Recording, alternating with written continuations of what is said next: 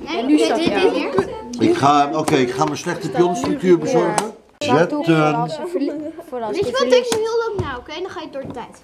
Dat heb ik helemaal niet nodig tegen jou. Hij neemt wat, hij neemt wat. Kijk eens. Pak die toren, kom ik. Ah, hij wikkelt af naar een eindspel dat met weinig materiaal. Maar, omdat zijn pionstructuur eh, slechter is.